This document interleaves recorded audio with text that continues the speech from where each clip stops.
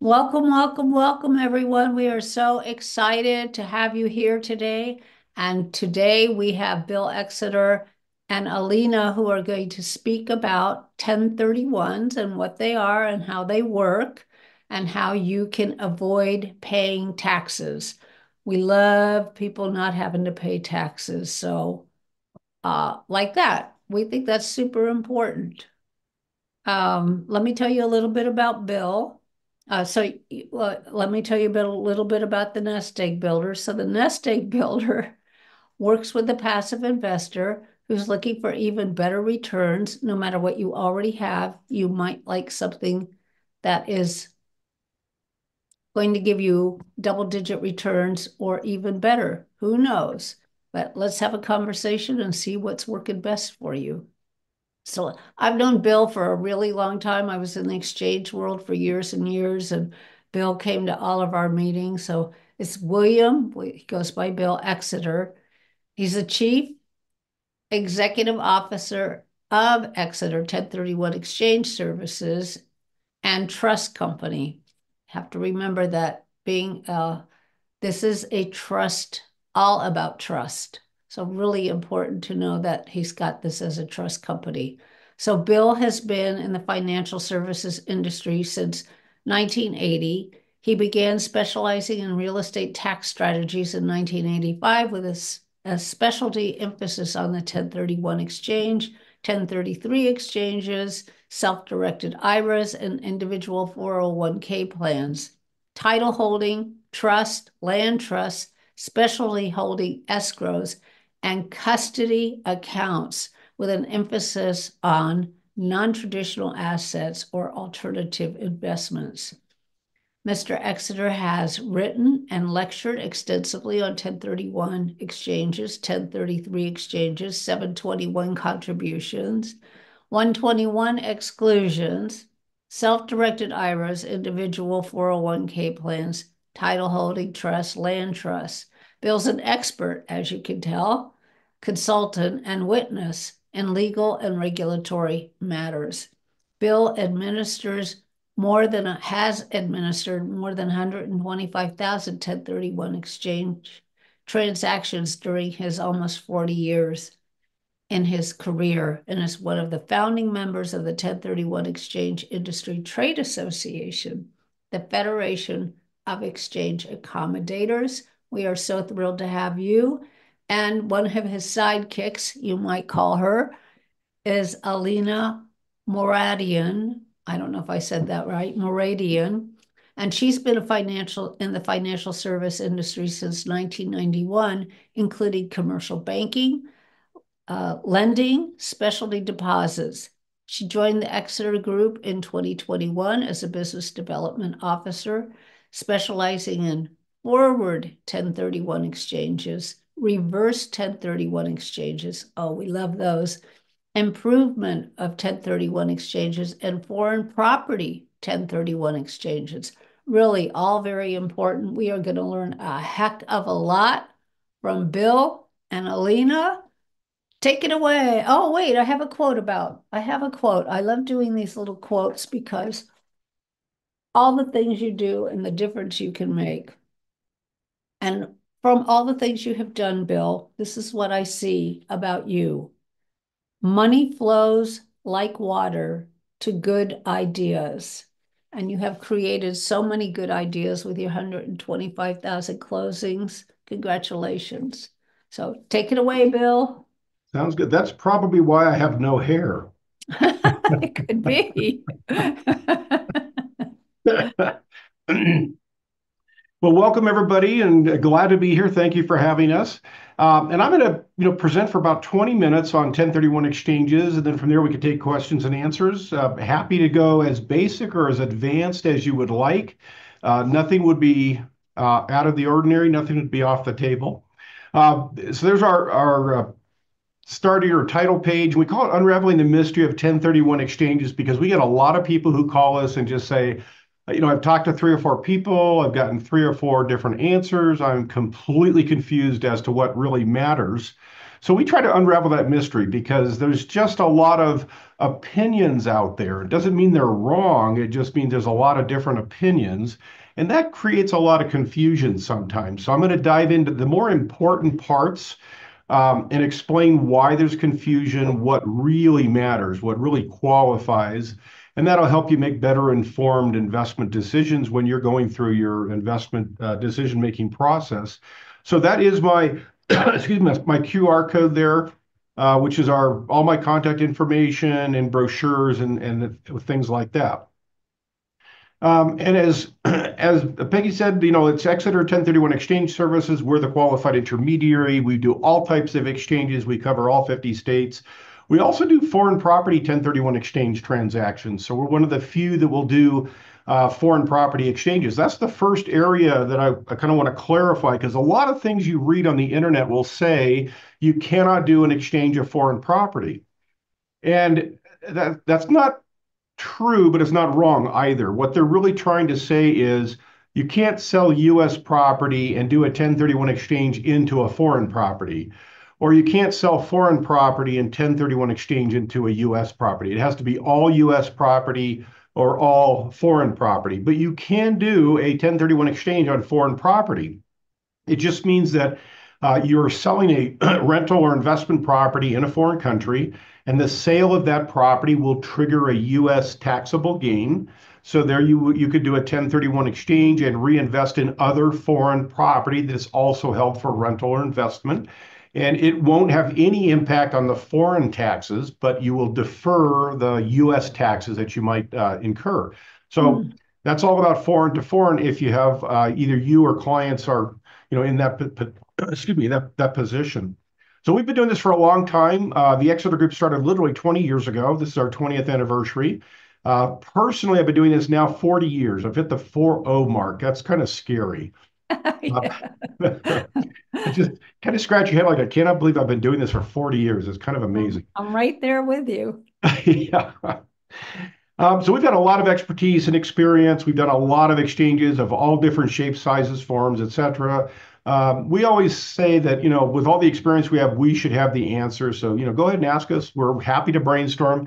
You know, even if you're working with another QI and and they can't answer the question, I'm happy to chat with you and kind of help you get through the process there. And as Peggy mentioned, we also have Exeter Trust Company. Um, Exeter Trust Company is licensed, regulated, and audited by the Wyoming Division of Banking. I'm going to touch upon that in a minute. Uh, that also gives us the ability to roll out other products. So we have, you know, self-directed IRAs, title holding trusts, specialty holding escrows, et cetera. Uh, the self-directed IRAs are our second biggest product, and that's where investors want to buy real estate, deeds of trust, mortgages, tax lien certificates, uh, private entities, LLCs, partnerships, et cetera, inside of their retirement account. Uh, so we do a lot of that as well. And I'm going to breeze through some of these slides uh, since we have 20 minutes. Um, we get a lot of people who call and ask, well, why should I do a 1031 or, or should I? And that's those are all good questions. You always want to meet with your tax advisor first. There are reasons you may not want to do a 1031 exchange. So always meet with your tax advisor so you know exactly uh, what your tax consequences are going to be.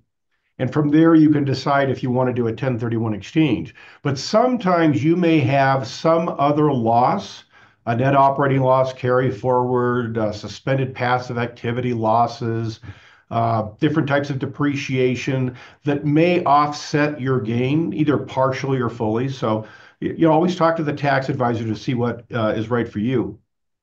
But a lot of investors look at the 1031 exchange as a transaction tool. I'm selling real estate. I don't want to pay tax. And that's what it's certainly designed for. But it's more than that. Uh, it's a wealth building tool. It allows you to keep exchanging over time. Every time you sell, uh, you do an exchange, it defers the taxes into the next property. So it keeps all of your money in your pocket instead of paying about a third of your profit to federal and state government. It keeps it in your pocket so you can invest in bigger properties, larger properties, more units, you know, improve your cash flow and ultimately increase your net worth. So it's all about exchanging over and over and over throughout your lifetime. And then when you pass on, whoever you leave the property to gets a step up in cost basis. So literally, if you bought the property for, let's say, 100,000, Today it's worth a million. You pass, you leave it to your kids. Your kids will inherit that, and their cost basis is stepped up to a million dollars. That means they pay zero capital gain taxes, zero depreciation recapture taxes, and they avoid all the other taxes that might get triggered. So the best way to remember this is swap until you drop. we have a morbid sense of humor. Um, but keep exchanging when you pass on, all the taxes go away. Uh, having said that, there's we get a lot of questions like, well, what should I do? 97% of our clients do forward 1031 exchanges. That means you sell first, you buy second. Uh, 3% of our transactions are reverse 1031 exchanges. You buy first and you sell second. Uh, with the reverse, they're a lot more complicated. So it, it's great for markets like today where you have a difficult time uh, finding property, negotiating to buy it, uh, you know, doing the due diligence and actually closing on the purchase. So with the reverse, it allows you to actually close on the purchase first, and then you've got 180 days to sell your current property. So it takes a lot of the risk out of that whole process. But the problem is we have to hold title to your property during that six month process. Uh, traditional lenders don't like that. So reverses are a lot more complicated. That's why there's only about 3% of our transaction volume. The improvement exchanges, you don't see a whole lot of. Effectively, you're selling property. You use some of the proceeds through a 1031 to buy dirt or, or any property, I guess then you have proceeds left over and you use those proceeds to make improvements uh, to the property. So capital improvements can be done through the 1031 exchange process. Again, we have to hold title to the property. Traditional lenders don't like it. Uh, so that does make it very challenging. Uh, but it is a great way to do certain types of projects and include the, the improvements inside the 1031 exchange. Um, first point, and this is where there's still lots of confusion out there, First point is you have to get your 1031 exchange set up before closing. If your sale transaction closes before the 1031 exchange is in place, it's taxable. There's no way to go back and fix that. And the reason for that is the purchase and sale agreement is assigned to the qualified intermediary. We step into your shoes. We become the seller, literally. And that's what allows you to defer the tax payments.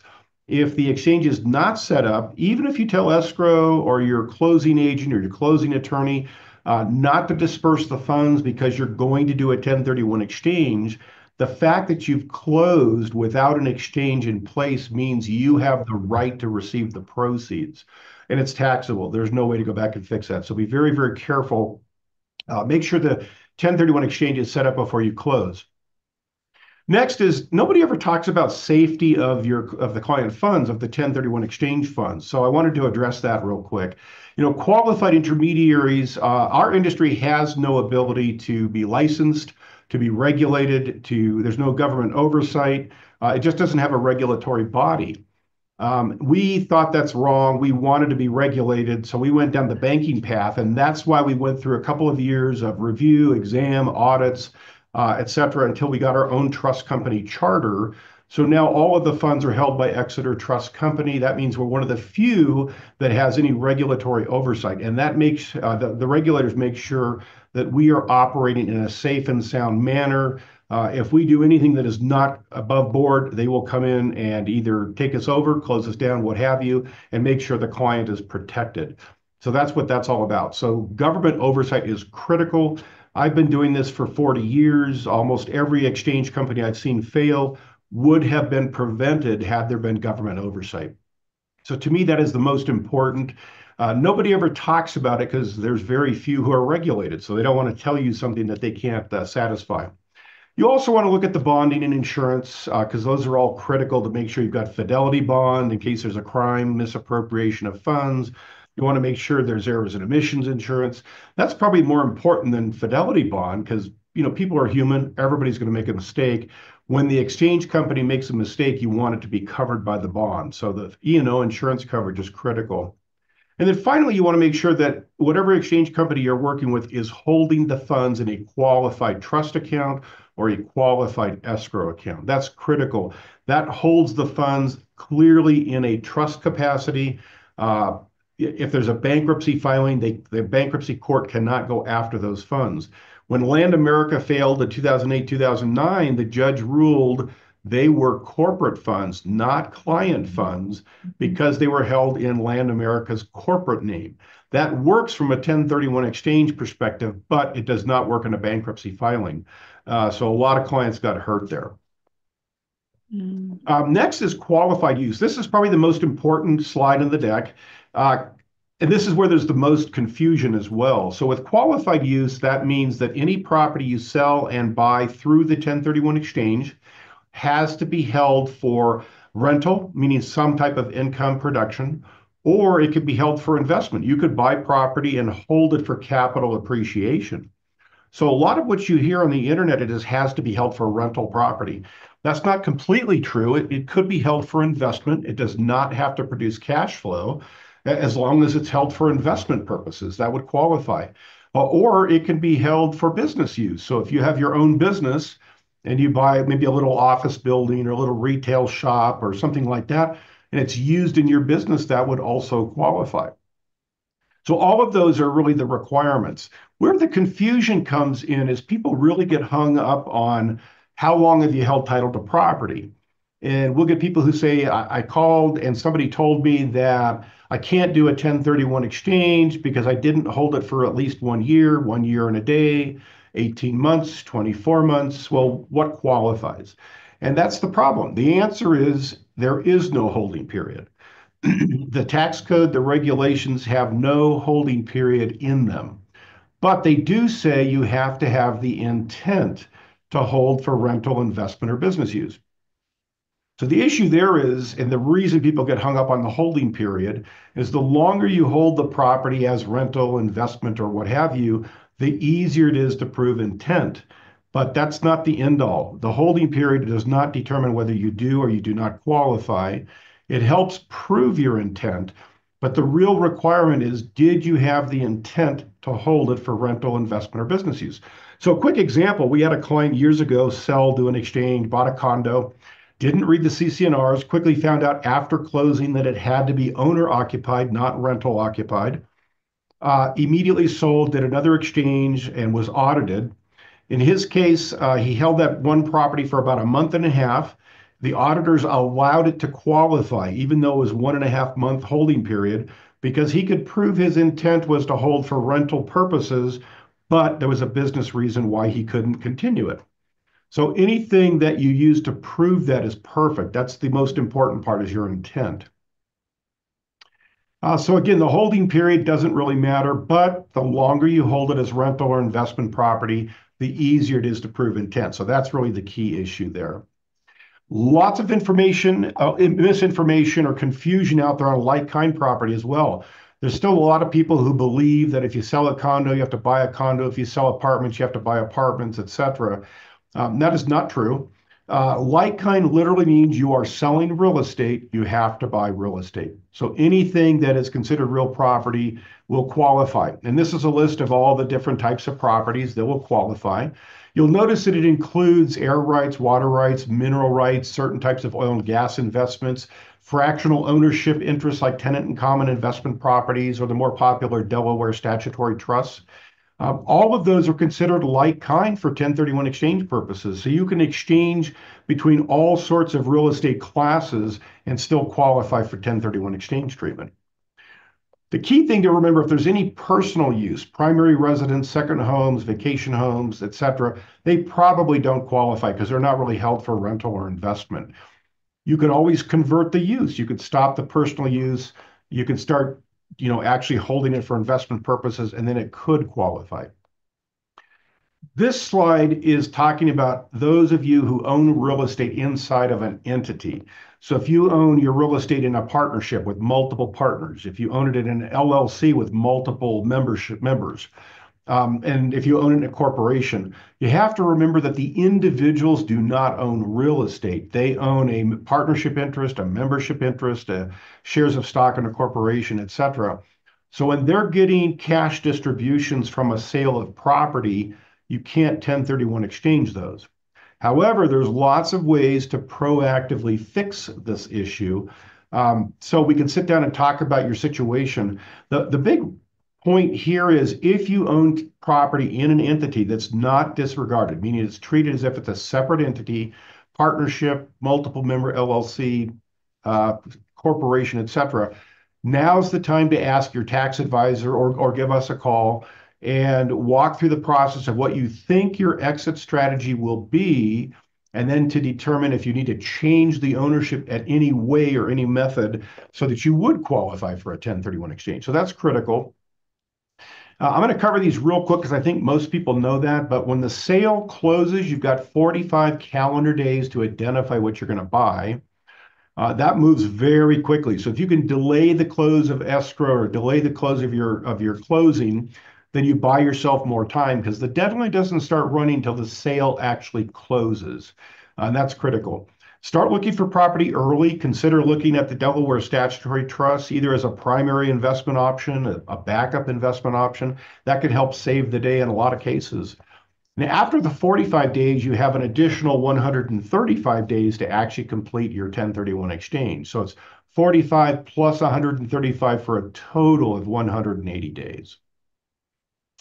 Uh, identification, you have to identify the property. These are the three rules, and we don't have a whole lot of time to go into detail here. Most people use the three property rule, so they'll identify up to three properties.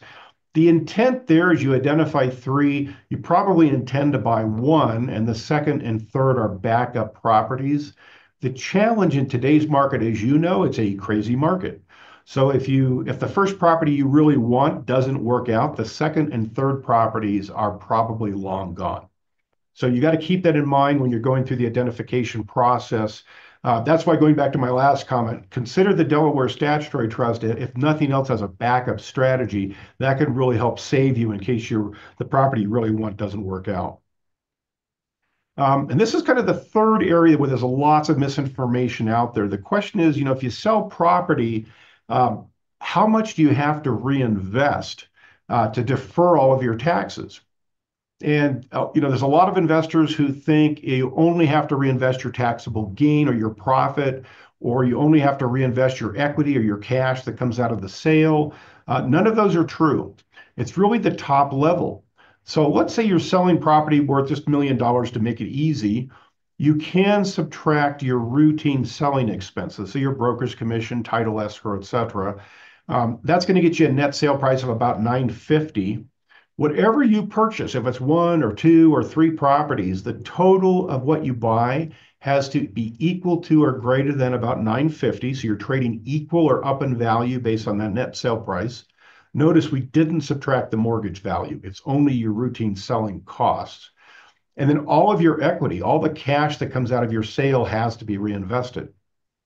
So the government's really taken the position that you you you own an asset at 950 net, and as long as you stay fully invested at that level or higher, you can defer all your taxes.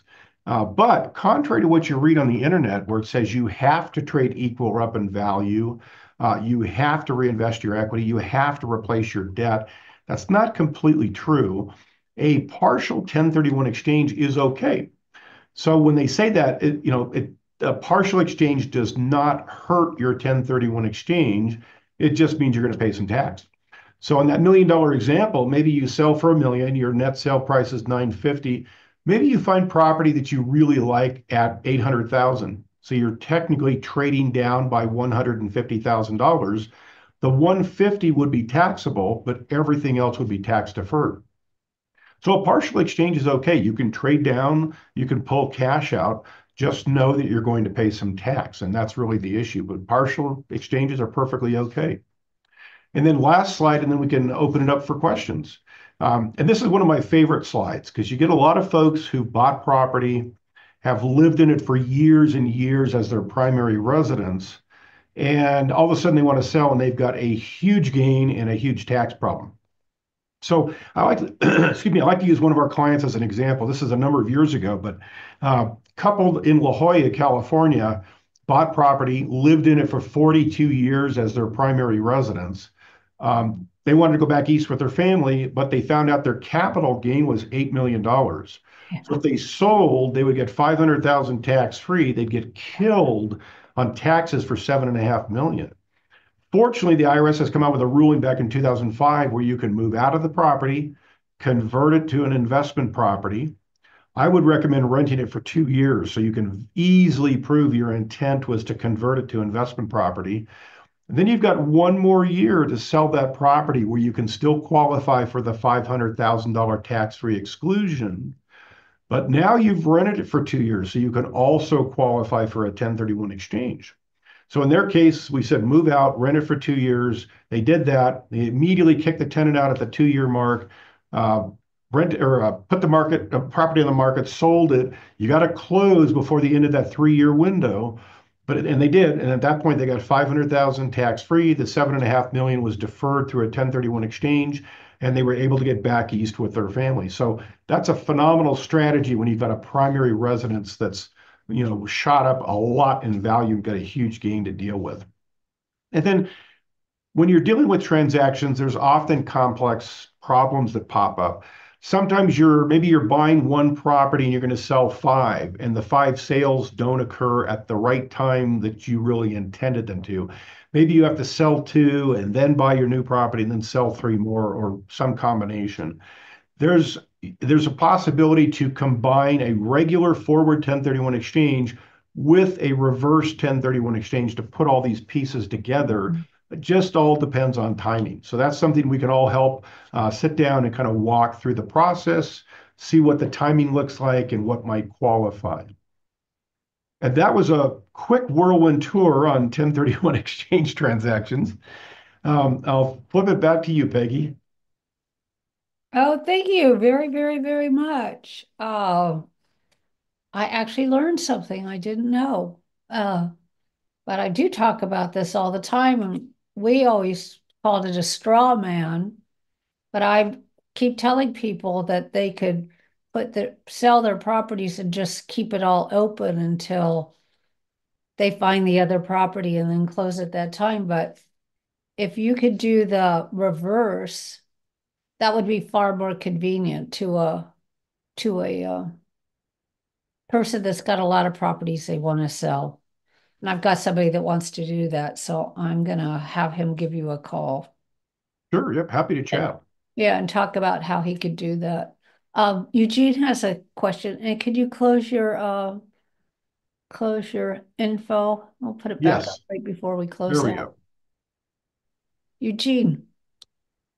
Uh, thanks, William. You you answered one of my questions because we hold a lot of properties in uh, land trust because I was going to ask that, but you answered it. Um, structural installment mm-hmm. sales versus 1031 opinion. Uh, with with structured installment sales, and they're marketed under different names. So you've got the structured installment sale. There's a seller carryback note.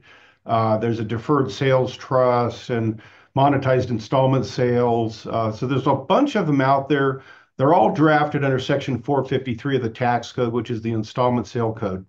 You have to be very, very careful. Um, there's there's a couple of different areas. So I'll, focus on state level first. California, for example, has come out and said those don't work. They will not defer taxes.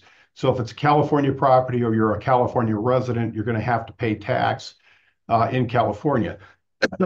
California has also put qualified intermediaries like us on notice that if we work with the client and they do a structured settlement, or structured sale, and we do not withhold the, the California franchise tax, we are subject to penalties and interest, et cetera, because we failed to withhold. At the federal level in 2023, uh, the IRS put the monetized installment sale on their dirty dozen list. Uh, the Dirty Dozen list, uh, it sounds bad, and for most of them, it probably is. But the Dirty Dozen list really says these are either scams or they're transactions where you have to be very careful because we're not sure they qualify.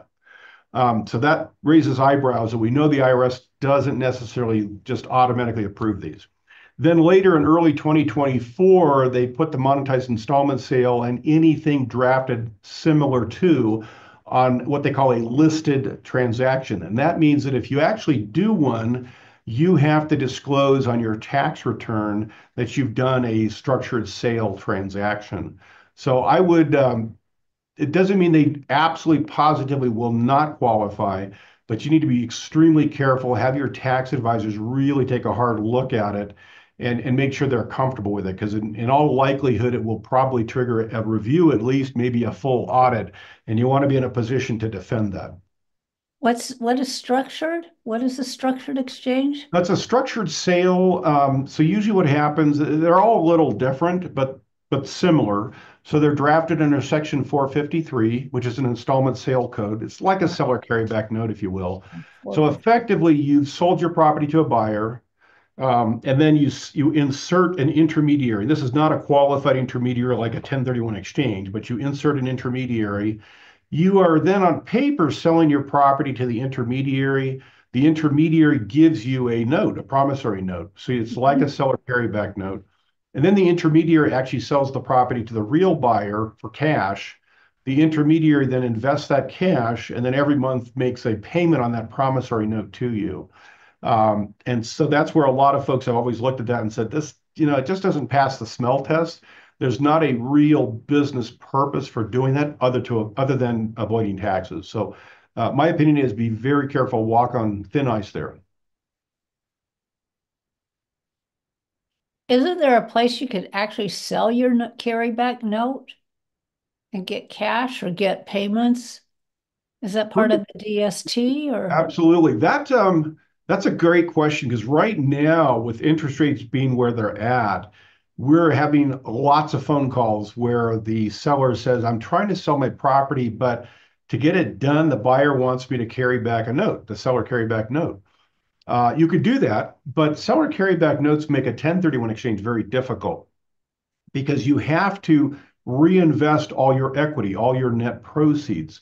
And your net mm-hmm. proceeds are not just your cash, they're also the seller carryback note. So it can be done. There's really like five different options for seller carryback notes. Effectively, you either put your own money out of pocket in and you're acting as the lender. You lend the money out of pocket to the buyer. You get the promissory note, and your 1031 exchange ends up with all cash. Uh, most people don't have that kind of cash laying around. So the second and third options, uh, the second one is what you just said. You could sell the note. So they would draft the seller carryback note in our name as your qualified intermediary and then you would arrange to sell the note out of your 1031 exchange account. And now your exchange has all cash and you could move forward with your 1031 exchange. Okay. Most note buyers want a discount. They want to increase the yield, otherwise, they're not interested. So uh, you have to look at the numbers and see if it makes sense. But there are note brokers out there who do nothing but buy notes. Yep, we know a few.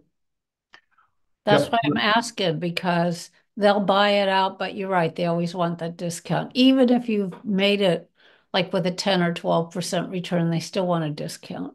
Yeah. It's it, an ego thing, I think.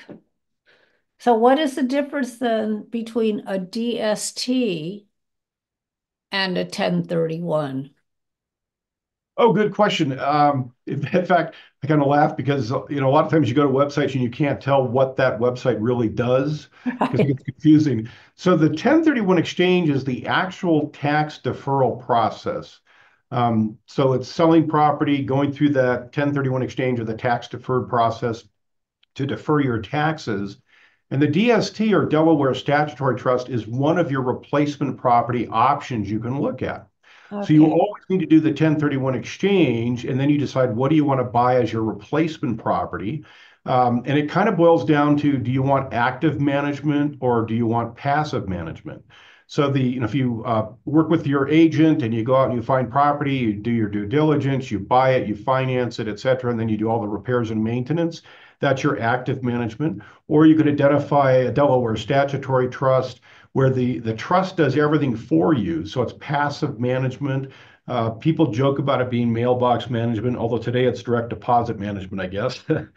but it it takes a lot of the the uh, headaches out of the real estate. So it depends on what your goals and objectives are, but that's certainly a a target of a lot of our clients who want to get out of real estate. Then they talk to their tax advisor and find out, oh my gosh, I've got a huge tax liability.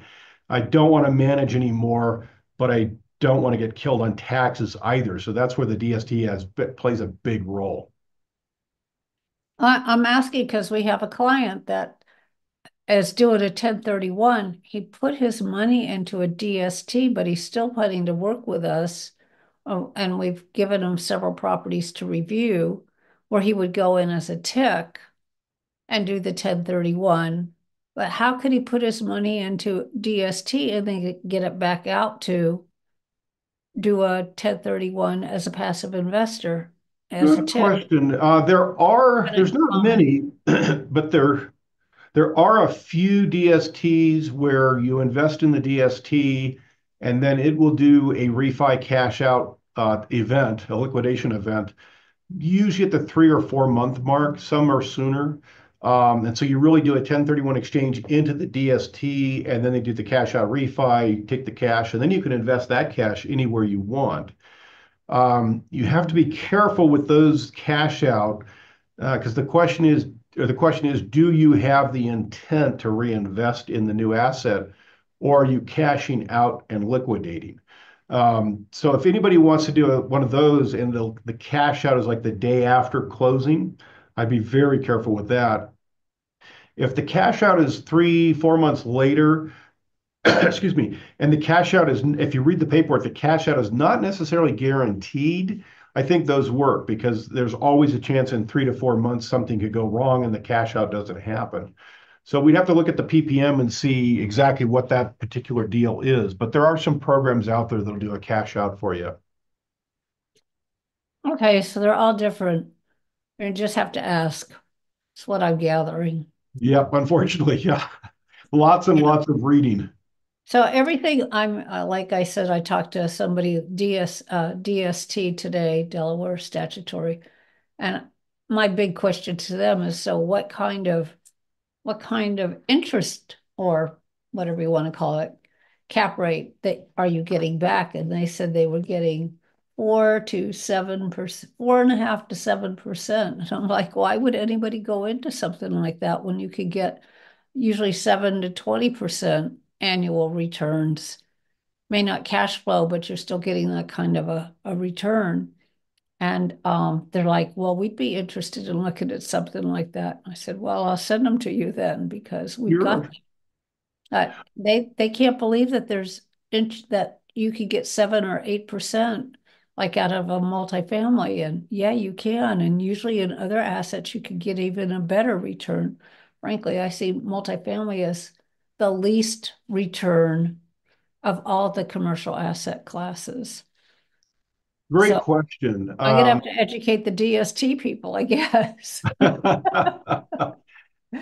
yeah, I guess the first thing to keep in mind too is the DST is not designed for the investor who's really trying to build equity and hit the ball out of the park.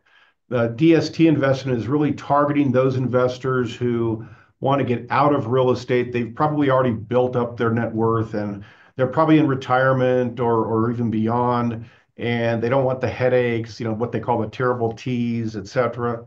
Um, so they're looking at something that's safe and more conservative.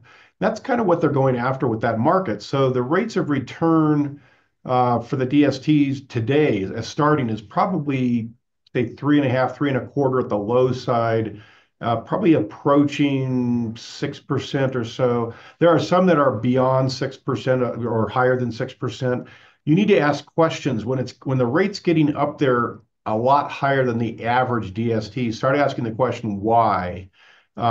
Some DST sponsors actually take some of the principal as part of the payout, so the percentage return looks higher, and you're really getting some of your money back.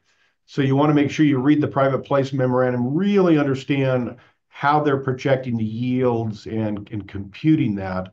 Uh, but it's not designed to hit the ball out of the park. So if you're still trying to really build your net worth and et cetera, you probably want to look at something that's, like you said, is going to be maybe 7 to 20%, and uh, it'll do better for you because you probably have a higher risk tolerance at that point. Okay.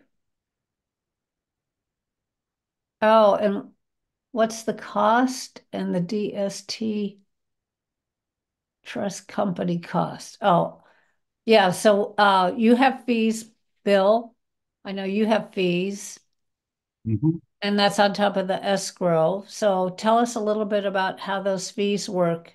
And do you know about the fees on the DST? Sure, I can kind of work Do into that. do, Um, do you do you also do DST? We don't do DSTs. We don't want to have a conflict of interest. So if we're working on the 1031 exchange as your qualified intermediary, we want to focus on doing that, doing it right, doing it well. We don't want you to worry about us trying to also get paid at the back end. So there are qualified intermediaries out there who act as the QI, but they also sell property and they try to make money on the back end. To me, that's a conflict. Yeah, I have. We only do the QI work. Uh, and we don't get compensated by any of the replacement property options out there. We don't recommend them. Uh, we're completely neutral. Uh, so we work with whoever you want to work with and whoever you want to acquire property with uh, as your qualified intermediary. The uh, the fees, so I can kind of cover the fees. The fees depend on the type of exchange. So 97% of them are regular forward exchanges. And if it's one sale, one purchase, our fee is a flat fee of $1,295. The 1,295 includes everything. So that's all the usual exchange documentation. Uh, like I said, we're one of the few that has regulatory oversight.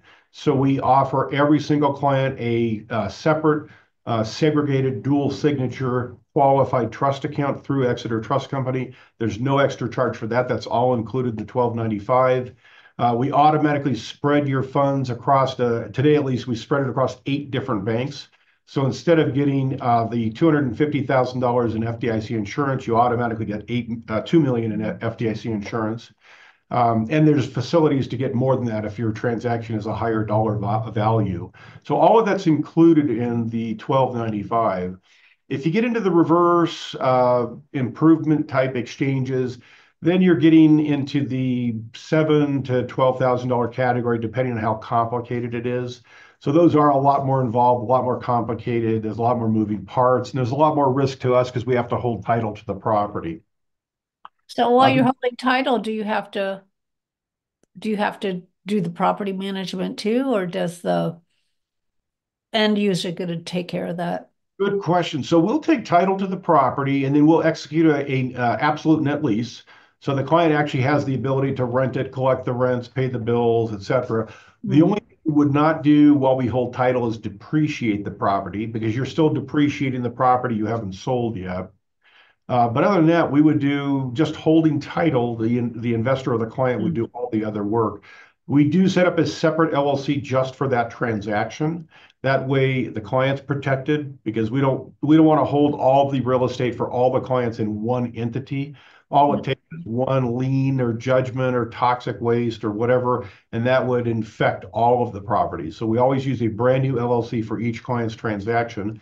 It also protects us in case something does go wrong on the property. If they sue, they sue the LLC instead of uh, us directly or the client. So it's really a liability protection. Thank you. And then I interrupted you, so I apologize. And you got all your costs out because you're holding oh, properties. How many properties? Like I don't know. We'll just make up that Eugene's got eight properties he wants to exchange into one larger property. Hmm. So you're gonna are you gonna you're going to hold title to what are you going to hold title to? To the new property because it's a reverse? Yes. If it's a reverse exchange, typically we hold title to the new property for a lot of different reasons. Um, in that example, let's say Eugene's got the eight properties to sell, one to buy. Uh, he does a reverse exchange. Uh, we buy the new property first. The only thing that has occurred at that point is what we call the parking arrangement. Uh, so that means we took title to the property. That's it. It triggers the 180-day window to sell all eight of those properties. The question there is, what happens if you sell the eight properties for a lot more than you anticipate? Uh, maybe you get into bidding wars, the market keeps going up, you know et cetera. And all of a sudden, you bought property for 2 million. When you've sold your eight properties, maybe you sell it for $2.5 million. Um, at that point, you can actually go out and buy a second replacement property to use up the difference. Mm. Uh, so that's why we really want to hold title to the property you're buying. If we hold title to the properties you're selling, that is a possibility if the numbers work out, but there's no ability to adjust it at the back end. The exchange is really at the front end. Got it. Yep. And then and then the cost on that to Eugene in this case would be because it's one property, but it's still a little complicated because he's selling them, the properties don't all close at the same time, so a little bit of cash is coming in at a time, or how does that work? Uh, good point. Um, so yeah, in terms of the fees, if there's eight sales and then one purchase, uh, either way, on either type, either a forward exchange or a reverse exchange, we have the base fee that we mentioned. The base fee would include the first sale and the first purchase. Each additional property, so in that example, there'd be seven additional relinquished properties. Each one of those would be $300 extra just to process and work with the title company that's closing the transaction, etc. Okay. All right. That's good. Yeah, because it could be eight different escrow companies because of where the properties are, or whoever's got the listing and is selling, and, you know, they always go back and forth about their escrow and their title companies. Exactly. And I would think- uh, That would be eight separate purchase and sale agreements, eight separate escrows, etc. Right. Now, if you- What about the title? Is is it important that they use the same title as what the title is that's being on the property that's being purchased? Uh, in terms of the title insurance company? Yes. Um, it doesn't really have to. It does make things a little easier sometimes if the same company's handling all the sales and all the purchases, et cetera. but uh, you don't have to. It's it's kind of uncommon to do that, uh, 'cause usually in each transaction, a different party chooses, you know- Yeah... the escrow title company to work with. Um, so it's not required. It's, it, we're we're used to working with a bunch of different ones on each transaction. Okay. Great. This is really great. I thought of uh, one quick thing. Jean asked about uh, land trusts. Mm-hmm. So I thought mm-hmm. I'd cover that real quick, too, because land trusts are two things. They are pass-through entities, which means anything that happens inside that entity gets passed through to your tax return. So the land trust doesn't file its own tax return. It's also a disregarded entity, which means it's ignored for tax purposes. That gives you a lot of flexibility with land trusts. So, for example, you might own Uh, property, uh, let's say a multifamily property in a land trust. You sell it, and you sell it out of the land trust. You're doing a 1031 exchange. You go to buy the new property, and you want to buy the new property in the same land trust or a different land trust, and the lender says, "Nope, we won't finance you if you're holding title in a land trust. You have to take title in your individual name." Then, once it closes, you can put it into the land trust. Uh, that would work because it's a disregarded entity, so it's all boils down to Eugene is the actual taxpayer. Now, unfortunately, that would defeat the purpose of a land trust because now you're on recorded title, but that's just an example- Yeah... that it's a disregarded entity, so you've got some options there. Okay. I've got- Does anyone- I've got one other. That's not really... Maybe it's a question because you were talking about uh, fix and flips don't necessarily count that it's the intent. So I used to do a lot of fix and flips, and we would hold it. I think uh, my accountant used to handle it. We did our fix and flips in an S corp. Everything we were gonna do for buy and hold, we did in a different type of entity. On occasion, though, I would buy something in an entity, which means the intent was to hold, but I didn't. Is that kind of cheating if I was gonna use a 1031? I never did a 1031 using that, but as you as you were talking about, it's about the intent because occasionally we would buy things in that in that entity that were were intended to be holds, and we we didn't hold them. Got it. Uh, It's my favorite answer: "It depends." Um, so, the strategy you're using is fabulous, uh, because you put all your, you know, buy and hold in one, and your fix and flip in another. It's very easy to show that, and if you get audited, you can say, "These are always a hold, and these are always a flip," and that's the way it is. And we always suggest, you know, don't cross-pollinate. Try not to, you know, flip ones you're holding, but sometimes it happens. So if it's just a one-off, maybe one every year or every other year or something like that, you could probably look at it and say, "Look, you did have the intent to hold it. That's why you bought it in the holding entity, but there was a reason to to get rid of it." Sometimes we've had clients who did an exchange, bought a property, within a week or two, they get an offer that is huge from somebody, and in most cases, you're not gonna turn that down. So technically, it's a flip, but that wasn't your intent. Uh, but the, the issue is if you get audited, they're not going to believe you, unfortunately. so you have to be able to demonstrate my intent was to hold. However, uh, so if you can get, you know, an email from the client that's or the buyer that says, you know, I know you're holding this or I know whatever, but uh, and you just bought it, but I really want to buy this property. I'll give you X for it. And you go back and forth by email negotiating. That's great proof that you really intended to hold it, but out of the blue, you got an offer you couldn't say no to. So it all goes to what can you prove should you get audited? All right, thank you. You bet. Well, you would still have a capital, or you just have to do another 1031 if somebody came in and offered a made an offer to you, well, now you have a capital gain again and you just bought it, you're going to have to do another 1031. So what difference that would that make to the IRS because you just did another 1031. Your intent was to hold and you didn't and you didn't take the profits and pocket them, you did another 1031. I, that's a good point, especially uh, you know if it looks like it might be a flip, and then you do another exchange and you buy another replacement property, and hopefully that replacement property you hold for a number of years. Right. It's a lot easier to argue. I did have the intent. I got an offer I couldn't say no to. I did another exchange, and I did hold the next property for a long time, and it helps demonstrate that was your intent. Um, if you did a quick flip and then did an exchange, bought another property, did another quick flip, that gets into the I don't believe you category. And that's exactly. where you have a, a difficult time during an audit. Exactly, exactly. Yeah. Does anyone else have any questions? Maya, might you have a question or David? I know you're yeah. very interested in 1031s. Yeah. Hey, Peggy, thanks. Um, I have a question for William. Um, based on the last scenario the guy mentioned, he was going to hold on to the property, but he sold it. Does that mean your time starts over again since you sold it and now you're going to 1031 again? Or what happens to your time frame on that? No time frames necessary. In terms of identifying properties or in terms of your holding period or?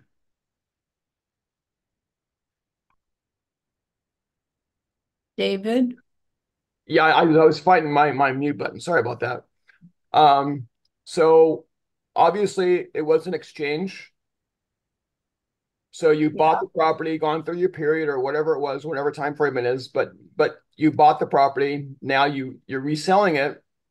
So what happens at that point with with the time frames? At that point, you've got a brand new sale, brand new 1031 exchange. So you have a brand new 45 days to identify and another 180 days to complete the exchange. So brand new time frames. Um, the other thing to look at is, you know, the first property was a short-term hold, uh, then you sold it in exchange. The holding period in terms of defining capital gain, which is typically 12 months, the holding period tacks on. So whatever the holding period for the first property was, and then you do an exchange into a new property and you hold that property for a period of time, the old holding period tacks on to the new property. So we've had clients who bought property, hold it six, seven, eight months, got a great offer, sold it, did another exchange, bought another property, held that one for six, seven, eight months. So now you've passed the 12-month holding period for capital gain rates, and then they could sell at that point, and they would qualify for long-term capital gains. So there's some interesting planning opportunities there to get you out of ordinary income and into capital gains, as long as you truly have the intent to hold for investment. It sounded like it was like 30 days to 60 days. So I'm just curious, kind of the, the time frame for that. Uh, 30 days to 60 days for for what time period? Uh, to resell. I mean, he was going to hold on to it. He got a great offer. It 30 to 60 days it closed. Oh, gotcha. Yeah, I mean, you're going to have you know typically 30 to 60 days to close. Uh, I mean, that'll be a totally separate transaction. So you're going to you know, once you sell that property for, you know, from that unexpected buyer, you're going to have your usual closing period. So that won't change. Once the closing occurs, you'll have the same typical 1031 exchange period as well. So use that 60 days to go find another property. Absolutely. Yep. Always wait. The key is getting your timeline down pat. You know what your timeline is going to be, getting your deadlines kind of down pat, getting your team in, in place, whoever you're going to work with, you know, your title, your escrow, your qualified intermediary, financial advisor, legal, tax, etc stuff happens when you're in the middle of a transaction. and you're not going to have time to go out and find your team. So always, uh, you know, have your team ready to go just in case stuff happens. Yeah, I love the reverse market. I mean, reverse, uh, reverse 1031. We just can't get anybody to really understand it and how nice it is for them. Yeah, it does. When I do exchanges, the only one I do is a reverse because it takes all the risk out of it. You can do Yeah, all all of it. all the time. It's a, a beautiful way to go. I, they are it's a lot more complicated. Lenders don't like them. Um, there are lenders who are beginning to look at them. Uh, there's a few that have actually created a, a product specifically for reverse 1031 exchanges. Uh, your interest rate is going to be higher than a typical mortgage broker, of course, but but they get it. So if you've got a large enough capital gain sitting there, I, I think it's absolutely worth it. Why, why would they, why would the interest be higher? Typically, with those programs, it's outside the box. Most of the lenders don't want to touch them. There is a perceived increased risk because we're holding title to the property, not the actual borrower. They're worried that if something happens and they have to foreclose or what have you, that there's going to be some extra risk there. There really isn't. There's, it's secured by the property. Um, so it's so the rates are higher. They're not as bad as like a hard money, private money type deal, Right. uh, but they're not your typical mortgage rates either. Well, maybe they need more education. Could be, yep. That, that's what I find education so important. They should see how secure it actually is. Because when you're holding it, everything's going to be paid for. That's part of the contract. Is that the mortgage has to be paid on time, the property taxes have to be paid, the insurance policy has to be paid, and a liability has to be put in place. I mean, it's so much better for the lender. As it's a third party making sure it all happens. They call us property managers in uh if it's a multifamily. Yep, and maybe a little more competition wouldn't hurt. So if there's any lenders on the on the pr presentation, uh, take a look at it. Okay, I'll I'll look into that. So do you have a specific lender that's actually doing this? Or no, or a company? There, let's see, the one that I can remember, remember offhand is a company called LendSure. And they specifically have a program. They rolled it out about a year ago that does reverse 1031 exchanges. Um, and so they, I think you, they would go to you and then you would go through LendSure to do that. Okay. Well, I call them and talk to them. Yeah. Yep. So like that. So we're at the top of the hour. Does anyone have a last minute question for Bill on 1031? Maya, might you have anything? Just out of curiosity? I don't have a question at this moment in time, but I'm definitely calling both of you after this call. Okay, great. That's Thank- really good. Or you could stay on and I'll talk to you after if you'd like. Sounds Happy good. to do that also. Well, Bill, thank you very much for coming. It was great. What a fantastic presentation. Yes, and look at everybody loved it. That's really terrific. So we hope you will come back on again at some point. And Happy. Absolutely. Alineh can be here to do her presentation too. So, Thank you, Peggy. You're Welcome. oh, you are here. You just say William. I see. Thank you, Alineh, for being here. Of course. Thank you.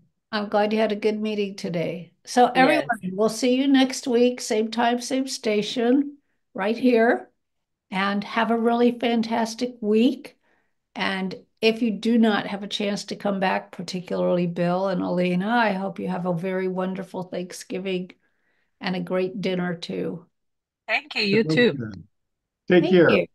See you later. Thank you, everybody. Thank you, Bill. Great presentation. Thank you, Peggy. You're welcome.